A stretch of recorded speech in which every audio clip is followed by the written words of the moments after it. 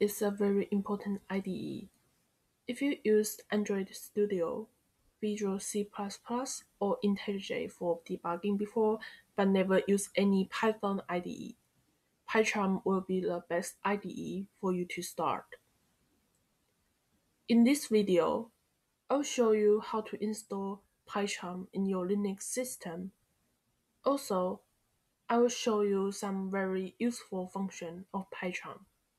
Install PyCharm in Ubuntu above 16.04 is easy.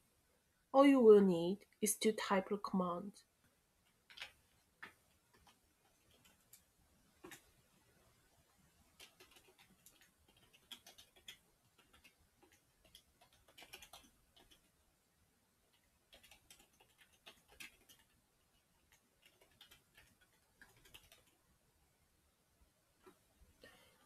One thing I would like to mention is that PyCharm have three different versions.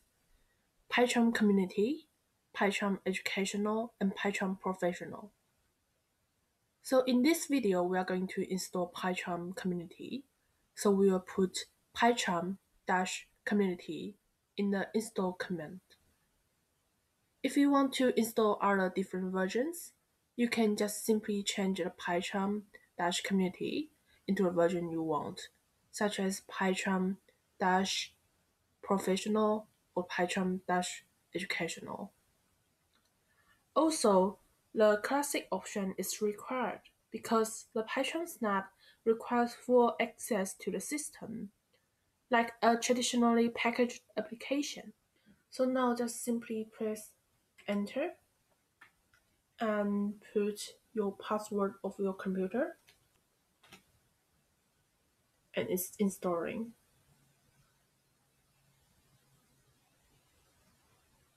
The command to run PyCharm if you install it by snap is pycharm dash the version you installed. In our case, I installed community version, so I will put pycharm dash community.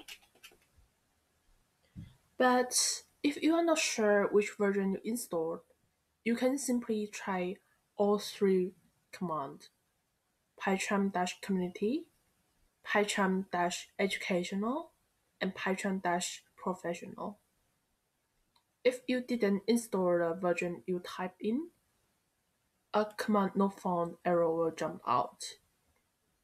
But in some very specific case, such as you never installed PyCharm in your computer before, um, one error might jump out say command not found for all three versions.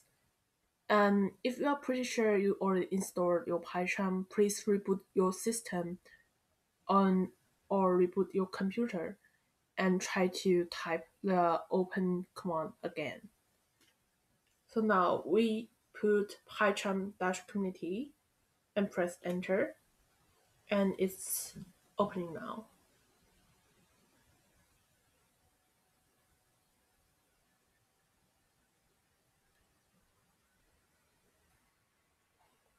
If you have used Visual, Visual Studio or Android Studio, once you open PyCharm, you will find the interface is pretty familiar.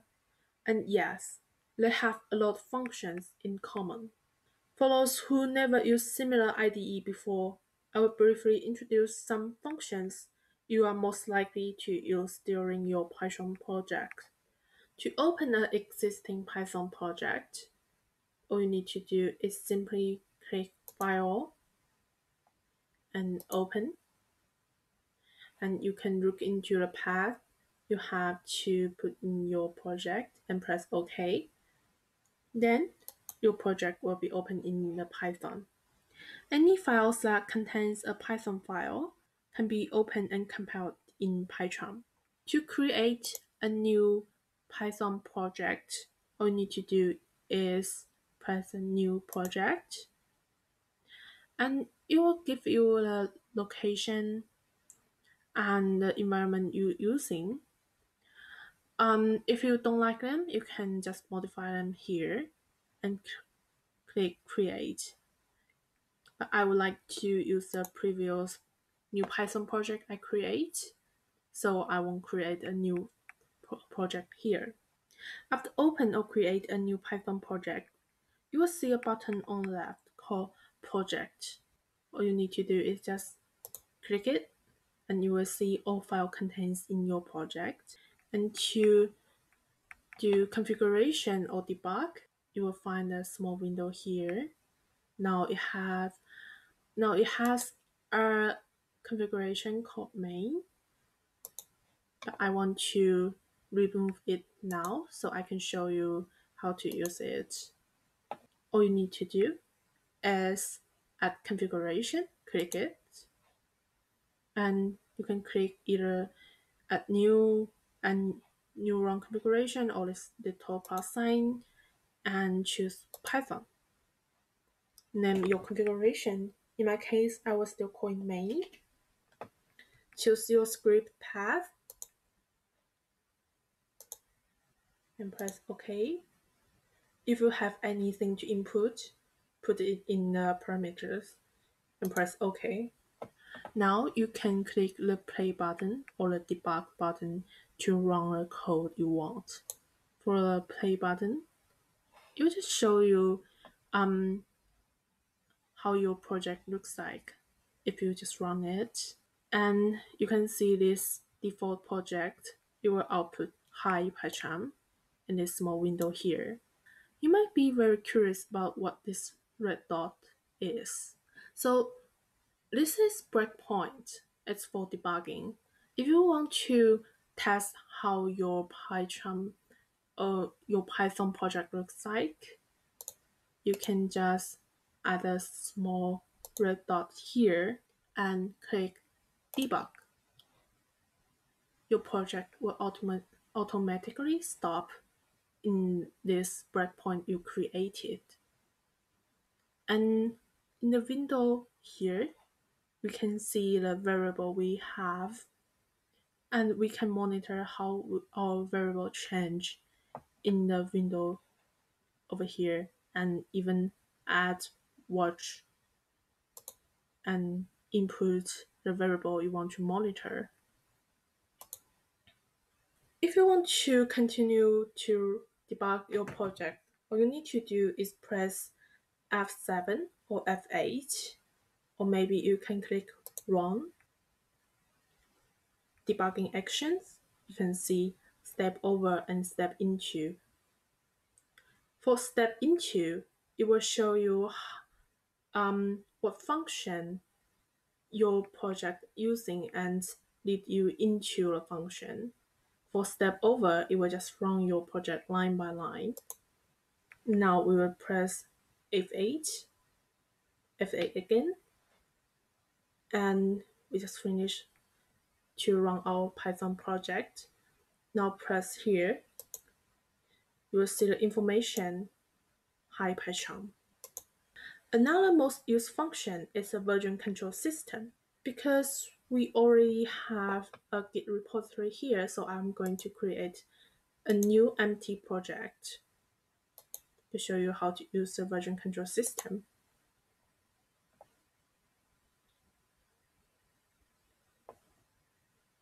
You'll see um, this section here, it was Git, but for a project without Git repository, it's now VCS.